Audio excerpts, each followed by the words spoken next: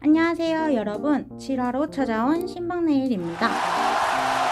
오늘은 과연 어떤 제품을 소개해드릴지 궁금하시죠? 오늘 소개해드릴 제품은 사라센 유리라인 필름입니다. 네일계의 대유행을 일으킨 오로라 네일. 요즘 인싸들은 유리 구슬을 올려놓은 듯한 네일 한다던데 나도 너무너무 하고 싶은데 매번 필름 자를 생각에 손이 안 가지 않았나요?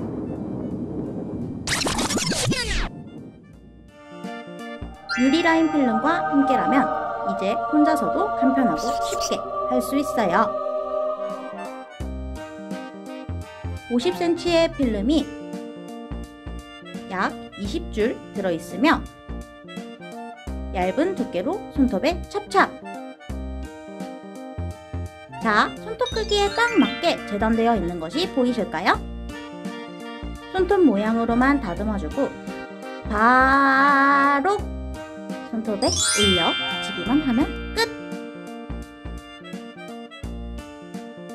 게다가 총 11가지 컬러로 지겨움 없이 다양하게 사용 가능하다는 점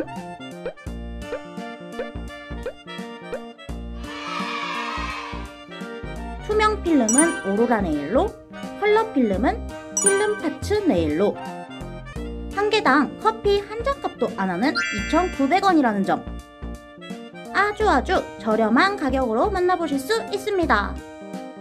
유사한 제품으로는 사라센 오로라 라인 필름도 있습니다. 그럼 오로라 네일은 어떻게 완성되는지 함께 보러 가볼까요? 첫 번째, 베이스를 바른 후 원하는 컬러를 발라줍니다.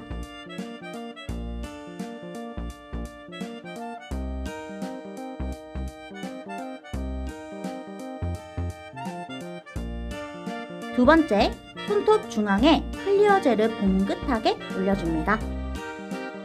이때 clear 젤이 손톱 사이드로 쏠리지 않도록 주의해주세요.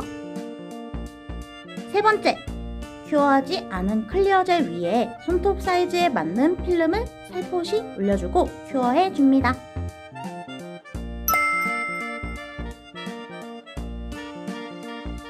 네 번째, 손톱을 전체적으로 오버레이 해주듯 클리어젤을 올린 후 큐어해 줍니다.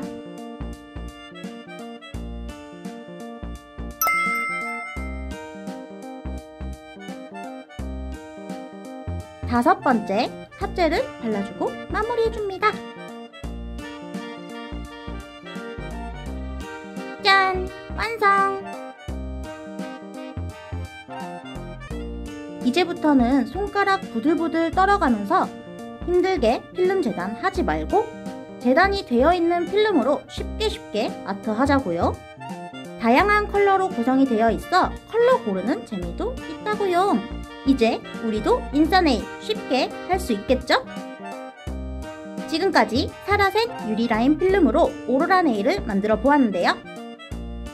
다음에는 더 신박한 제품으로 돌아올게요. 안녕!